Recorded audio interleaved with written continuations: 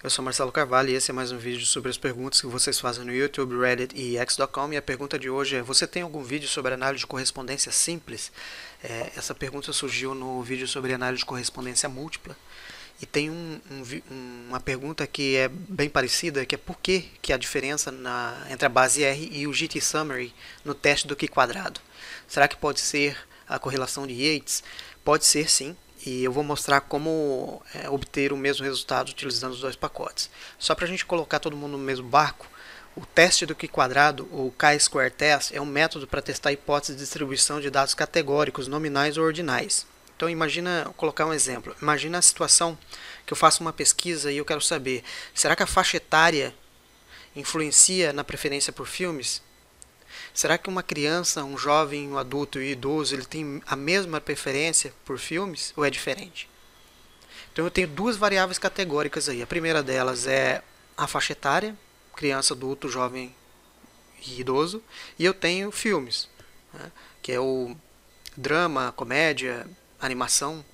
Então quando eu tenho esses, essas situações de duas variáveis categóricas, é bastante comum o uso de é, tabela de contingência e também análise é, de é, o teste de, de Duque quadrado. ok? Então vamos lá. Eu vou utilizar os três pacotes Tidyverse, Summary e Janitor. O conjunto de dados vai ser o Empty Cars para facilitar. E aqui eu fiz três perguntas. Como eu não tenho acesso ao dado que foi questionado, né? Eu vou fazer três utilizar três perguntas aqui para criar uma situação do que, que deve ser evitado e como aproveitar os melhores recursos das ferramentas disponíveis, ok?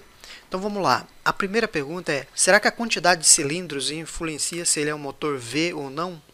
Será que quanto mais cilindros, maior a probabilidade ou de, dele ser um motor V? Talvez pelo, pelo comprimento, né? Será a segunda pergunta? Será que a quantidade de carburadores depende da quantidade de cilindros? Quanto mais cilindros, mais carburadores. Carburadores, para quem não conhece, bico de injeção é o substituto do carburador. Era uma peça que ao invés de injetar, né, ela aspirava o combustível para dentro do motor, ok? Então, é, será que o número desses carinhas aí é, é, é influenciado pela quantidade de cilindros? Essa é a segunda pergunta. A terceira é, será que o motor V, né, ele influencia se o carro é automático ou não? Então, essas três perguntas aqui eu acho que vão, vão ser suficientes para a gente analisar esse caso ok? Então vamos lá. A quantidade de cilindros influencia se o motor é V ou não. Então eu vou pegar Empty Cars e vou selecionar cilindro e V. A gente vai ter aqui um, vamos pegar, reduzir um pouco. Então cilindros, 6 cilindros, 4 e 8 cilindros. E a gente vai ter o V, 0 é V e S é straight ou em linha. Vamos pegar aqui, ó, Empty Cars.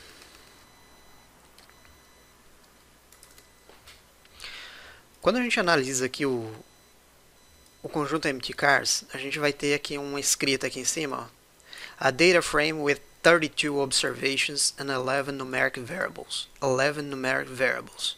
Embora que a gente vai ter 11 variáveis numéricas aqui, alguma dessas variáveis numéricas, elas esses números eles, eles apenas representam uma classe, uma, uma característica do veículo. Então, por exemplo, se a gente pega aqui, ó, o 0 ele vai estar representando que ele é V-shaped, o motor é em V. E o 1 um é straight, em linha. O mesmo vale para transmissão. Ó. O 0 é automático e o 1 um é manual. Então, embora ele esteja no formato numérico para facilitar a, a compreensão, o entendimento pelo computador, ele tem um significado diferente. Ele é uma, uma variável categórica. Né? Ou e alguns outros casos aqui, por exemplo, o número de carburadores, é, o número de cilindros, por exemplo, ele está em números né, 4, 6 e 8, mas é, um, é uma, é uma variável discreta. Né? Então esse, esse entendimento é importante para até para a escolha do, do método da análise. ok? Então vamos lá. Eu vou fazer x square test e vou fazer pelo método tradicional no R. Então vamos pegar o cilindro mt cars é, vs ele deu ali o resultado do, do, do teste Q quadrado. Só que ele deu um warning ali embaixo. Ó. A aproximação do Q quadrado pode estar incorreta. Agora vamos fazer a, a mesma coisa aqui. Carburadores. X test empty cars quantidade de carburadores, então carburadores, e a outra é cilindros, então empty cars, cilindros também. O key square que deu alto, 24, p-value deu baixo, mostrando significância, só que ele deu uma aproximação do que quadrado pode estar incorreta. Agora vamos fazer para próximo.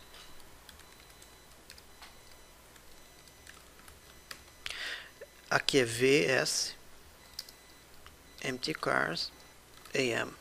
Aqui ele não deu warning.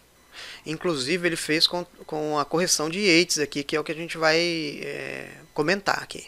Então aqui a gente vai ter ó, um teste baixo, né, o, a, o Q-square aqui é bem baixo, e o p-value aqui é bem alto. Né, é, ele é aparentemente não, não é significativo, ok? Então vamos lá. Agora vamos fazer o seguinte, vamos entender o que, que ele o que, que ele fez aqui. Então a gente vai utilizar, pegar empty cars e vamos pegar um, fazer uma tabela de contingência aqui. Então vou pegar um cilindro e também um viés. Então a gente vai ter uma tabela aqui de contingência. Então aqui é o cilindro 4, 6 e 8 e aqui a gente vai ter o em V e não. Em linha, em V aqui e em linha aqui. Só que note o seguinte, que aqui ó, a gente vai ter números muito pequenos. A amostra já é pequena, 32 é, observações apenas, mas a frequência aqui dentro de cada um de, desses, dessas células aqui é muito baixa. Então aí a gente já cai em um problema, né? Que ele é não atender o requisito para a aplicação do teste do Q quadrado. Porque você tem. É, é, aqui a gente vai ter célula com valor abaixo de 5. E o teste de Q quadrado ele exige que pelo menos 20% ou mais das células tem um valor acima de 5. Então, o pesquisador ele precisa estar ciente é, do uso apropriado tanto do, é, do método quanto da saída né, é, que deve ser utilizado. Nesse caso aqui, a gente poderia estar usando o teste de Fisher, ok? Mas eu quis mostrar aqui só para... Então, vamos pegar aqui, ó, vamos fazer o seguinte. Pegar aqui, ó, X test. Então, ele vai dar novamente o mesmo, o mesmo problema. Né? Ele, ele permite você fazer, mas já alerta que ele pode dar, que ele pode dar errado. Se eu pegar aqui e fazer o restante é a mesma coisa. Vamos pegar aqui, ó. Eu vou mostrar aqui a carb e aqui cylinder. Pegar o cilindro. Fazer primeiro a, tabela de contingência, ó. Então carburador, olha só, 0, 0, 1, números muito abaixo de 5. Então, vocês test também deu alerta. Agora, se eu pegar aqui,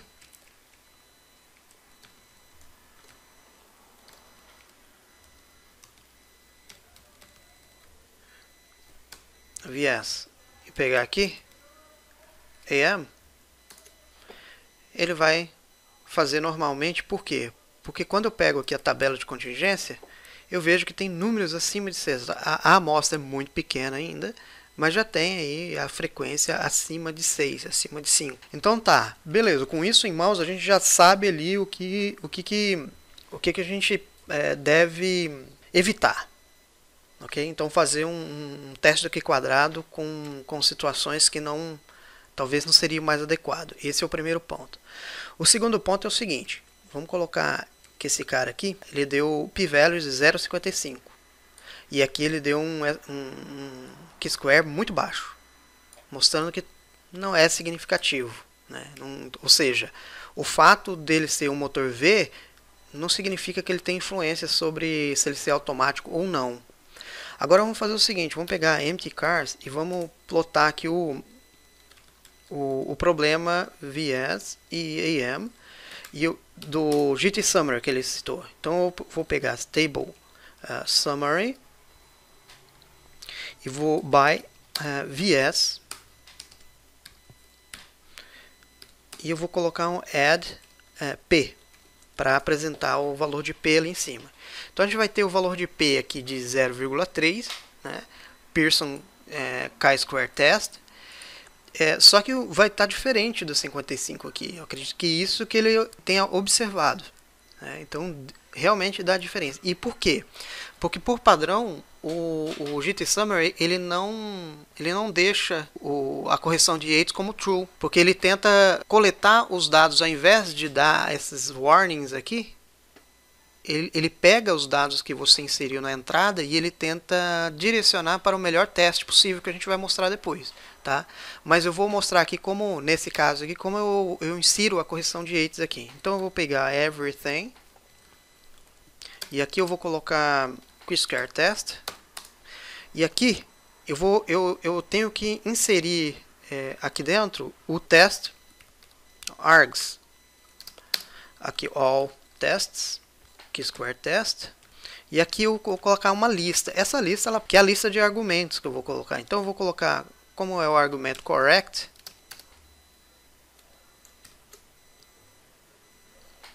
agora sim. Ele, ele fez o Pearson test e colocou o, o p-value igual né, o que a gente tem aqui. E os resultados são iguais. Aqui, ali, obviamente, ele, ele é, arredondou, né? mas vamos pegar isso aqui vamos colocar o nome dele de Model Xisk. Ok, então vamos colocar esse nome aqui. Então vou pegar é, Model é, Xisk, é, Body, Result,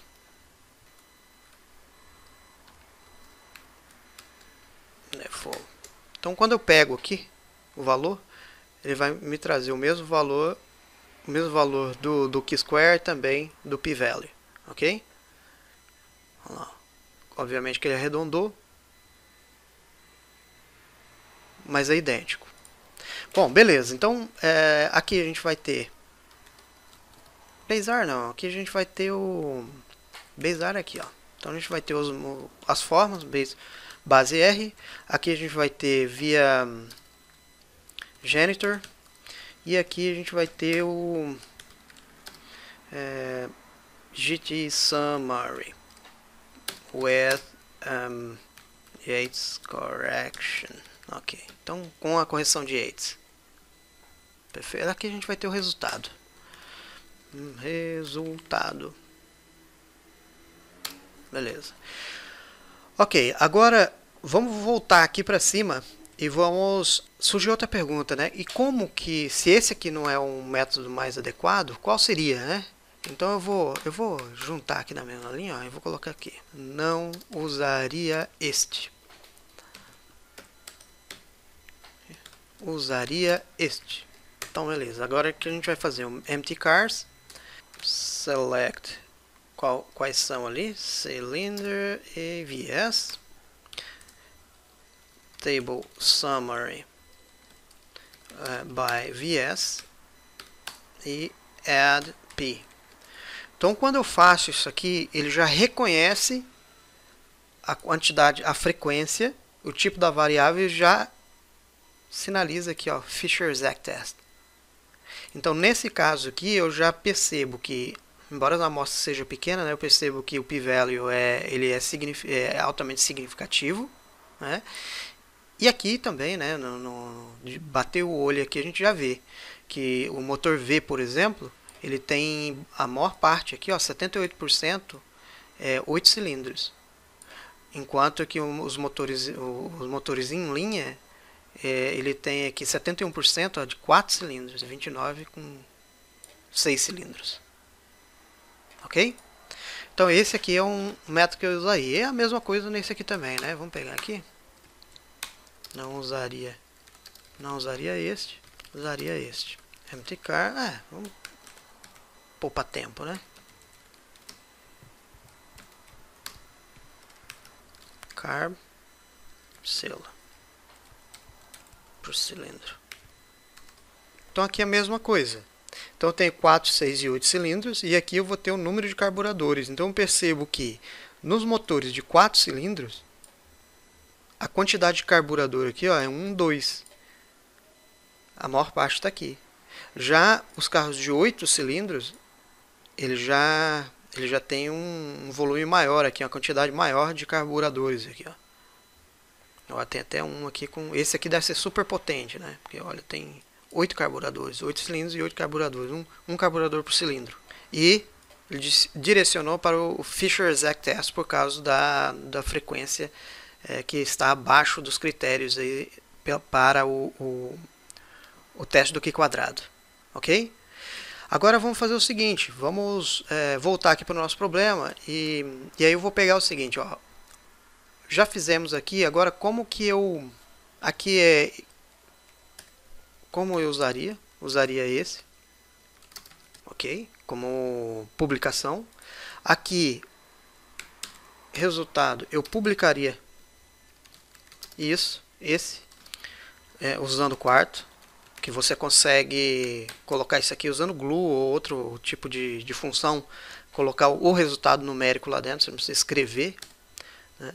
Isso a gente já viu já em vídeos anteriores. E, e eu validaria. Vali, validação. Validaria sim. Então vamos pegar um empty cars. Uh, pegar o tabel via SAM. Um, Vamos usar outro pacote, outro pacote ggpubr e vamos fazer um gg balloon plot. Aí vamos fazer um fio aqui, light, opa, light uh, blue. Ok. Então eu já vou ver aqui. É, aqui ele vai estar, tá, ele vai estar, tá, aqui é automático manual, né? Então, automático aqui, manual aqui, e aqui em cima ele ele está um 2 aqui, porque na, na tabela de contingência aqui, né? é, tem o um label, mas é ele vai estar tá, aqui em cima ele vai estar tá o V, aqui embaixo ele vai estar tá o straight. Então, esse aqui é V, esse aqui é o em linha. Então, em motor em V, ele tem ele é automático, ele tem mais mais carros automáticos, mas não é muito maior do que o restante observado aqui. Então não tem tanta diferença. Quer ver? Vamos, vamos pegar, para ficar mais claro ainda, vamos fazer o seguinte, ó. Vamos fazer a mesma o mesmo cálculo aqui para carburador. Então vamos pegar green para diferenciar. Aqui a gente já vê que tem bastante diferença. Então aqui a gente tem um V e aqui a gente tem um em linha. Então os motores em linha a gente vê que tem uma quantidade menor de carburador aqui. Enquanto aqui a gente vê ó, que os motores em V tem a quantidade maior de carburadores. ok? Então isso aqui é só para visualizar mesmo. Né? E aqui eu poderia tabela de contingência.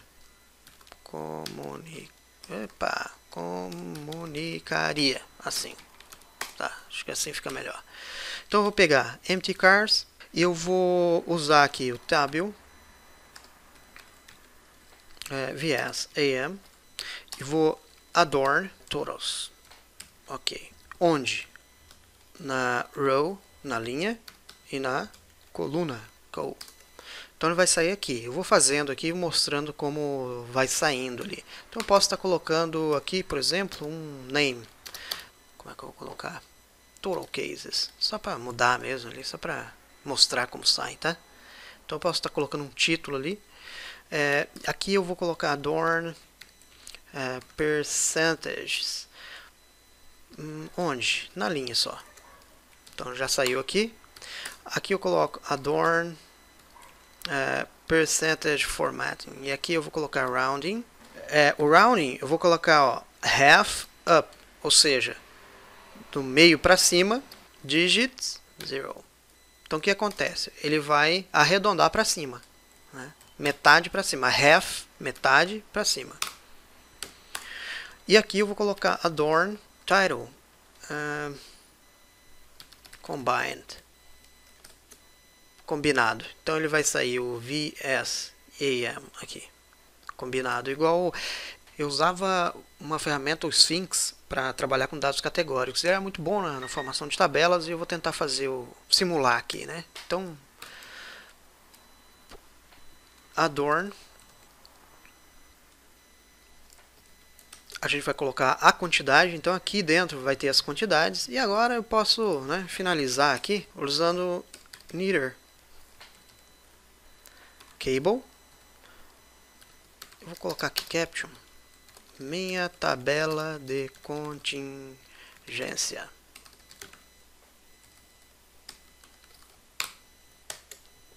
Então ele vai sair dessa forma aqui. Aparentemente aqui não está muito formatada, mas quando você coloca isso aqui dentro do documento quarto, por exemplo, ou um documento Markdown, ele já vai sair no formato de tabela pronta para publicação. Ok? E qual que seria o resultado, né? a interpretação desses resultados? O resultado mostra que o valor do Q-square é muito baixo, né? e o valor do P é superior ao alfa, que se eu determinei de 0 é, ou de 5%, por exemplo, é, ele, é, ele é muito superior a isso, né? ele está dando quase 56% aqui.